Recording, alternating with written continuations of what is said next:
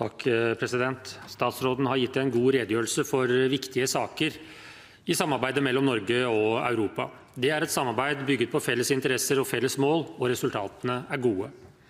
Samtidig legger ikke statsråden skjul på at det er mange utfordringer som må løses av Europa i fellesskap. Finanskrisen viser det, flyktningsituasjonen viser det. Jeg takker for statsrådens optimistiske realisme i beskrivelsen av utviklingen i Europa. For de av oss som mener at samarbeid er bedre enn alenegang, er det godt at visjonen om fellesskapet i Europa holdes høyt.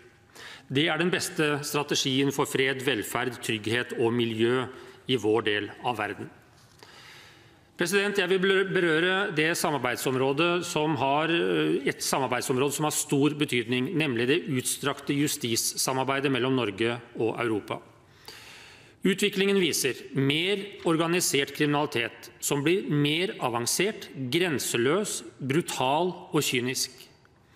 Dette er svært ressurskrevende både å avdekke, etterforske og straffeforfølge. Og det er helt avgjørende at vi bekjemper denne kriminaliteten. Vi ser den tar nye former, tilpasser seg nye kriminelle muligheter. Menneskehandel, menneskesmugling, narkotika, våpensmugling og cyberkriminalitet blir mer grenseløs. Arbeidslivskriminalitet er et annet eksempel. Den brer om seg. Samtidig blir flere bransjer berørt, og den angriper selve livsnerven i et lands økonomi, nemlig verdiskapingen.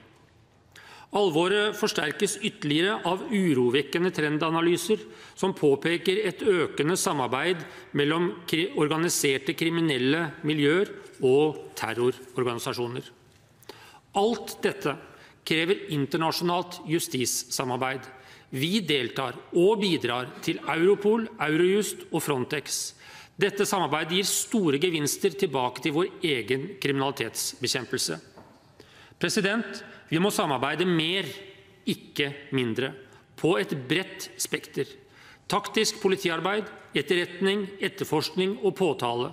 I tillegg må vi styrke arbeidet med å inndra økonomisk utbytte av kriminalitet og hindre mulighetene for hvitvasking. Europa gir det helt nødvendige bakteppet for dette samarbeidet. Skal vi lykkes i å bekjempe alvorlig og avansert kriminalitet her hjemme, er vi helt avhengig av et bredt, tillitsfullt og effektivt samarbeid med Europa. Vi må samarbeide tettere, og det legger regjeringen til rette for. Takk.